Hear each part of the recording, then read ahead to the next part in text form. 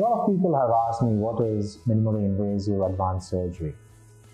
You all have heard about minimally invasive surgeries, but what is this advanced surgery? Hi, my name is Dr. Manjunath Haridas. I'm a colorectal and the GI surgeon in the Department of Intestinal Sciences, Manipal Hospital, Whitefield. Minimally invasive surgeries are surgeries that are usually done in a routine fashion nowadays. But what is this advanced? Let me help you.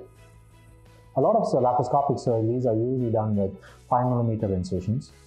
Maybe there are more incisions. If you take an example of a laparoscopic cholecystectomy, there is a 4-port incision.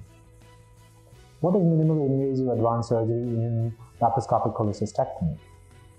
The minimally invasive advanced surgery in laparoscopic cholecystectomy is by using what we call as a single site incision or a reduced port surgery or what we call as a mini laparoscopic cholecystectomy. This has far more cosmetic advantages compared to the usual four-port minimally invasive laparoscopic cholecystectomy. A lot of patients usually do not understand these. These are very advanced techniques and are usually performed only in advanced centers. Our hospital and our department, the Department of Gastrosciences at Manipal Hospital Whitefield, are able to offer these minimally invasive advanced surgeries.